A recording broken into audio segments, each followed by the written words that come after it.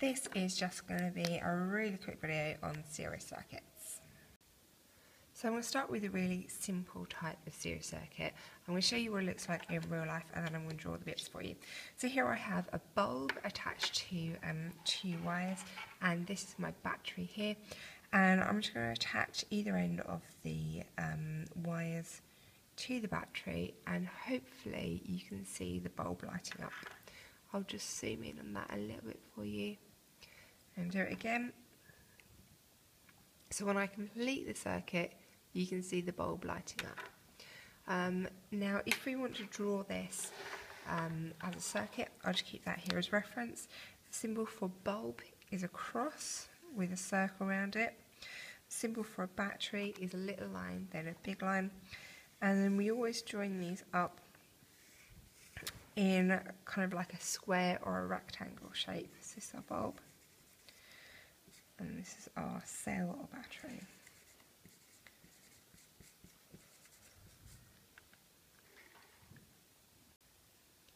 Now the difference between a cell and a battery is a cell is kind of like a single component, whereas a battery is um, more more cells, more than one cell put together. All I've got here to show you are batteries. I'm afraid I don't have any cells. So in a series circuit, everything is in like one linear order. So here our circuit has two bulbs in.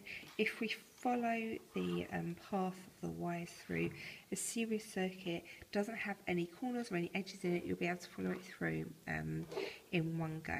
So these bulbs are both in series. If I attach them to the um, bulb, you can see this lighting up. I've got the lights off in the lab to try and make this as bright as possible. Another way that I can make it brighter is just by putting another bulb in there, another battery in there, sorry. And you can see these bulbs are starting to light up now. Not very bright because these are only little batteries and little bulbs. If I wanted to draw this, I would have my two symbols for my bulbs. And then I would have my batteries down here because I put two batteries in. So those would be my two bulbs and my two batteries. My bulbs and my batteries. And is just represented as straight lines. Remember, with a pencil and ruler please.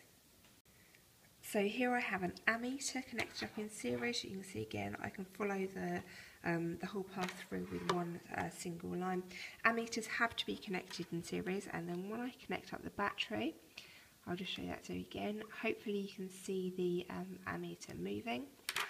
Just zoom in on that for you a touch.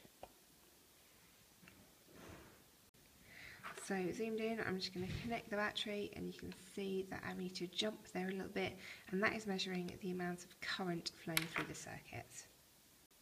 So drawing my circuit with a bulb in and then I'm going to have an ammeter in coming down to my battery.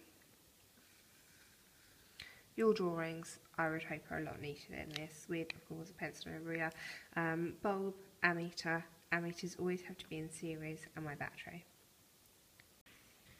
Okay, so this is getting quite complicated now, but I just want to prove to you again, this is a series circuit. I have a bulb and then an ammeter, another bulb connected to another ammeter, and then the end. And um, I'm going to connect these ends to my batteries, and both of the ammeters are going to move, um, showing that there's current flowing through, even though the bulbs aren't going to light up very much. So hopefully you can see both ammeters twitching there slightly. The bulbs aren't lighting up. Um, well, I mean, they are lighting up, but ever so, ever so slightly. So let me just add in a second battery.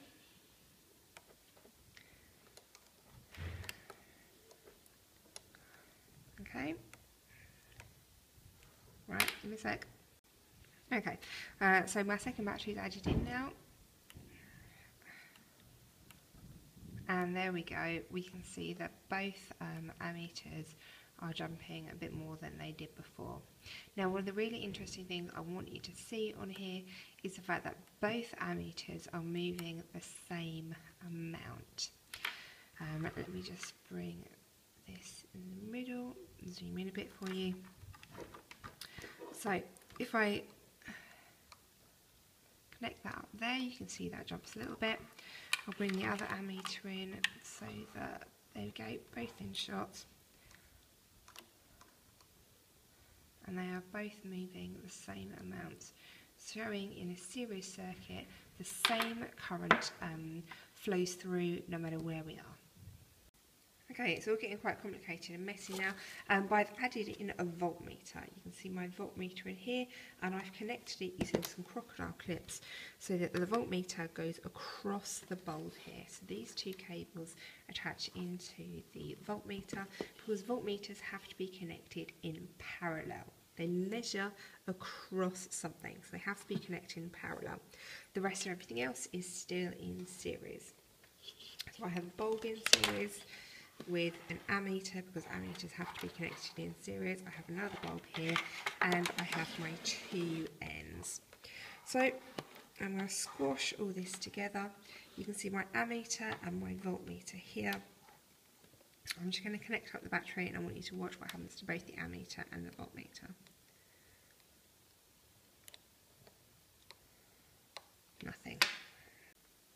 Okay, working now, electricity is very temperamental, especially in a school lab.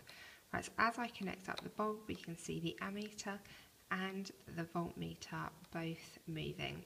Now the rules for um, measuring potential difference in volts in a, um, a, series circuit are slightly different because the potential difference is going to be the sum of the potential difference across each cell.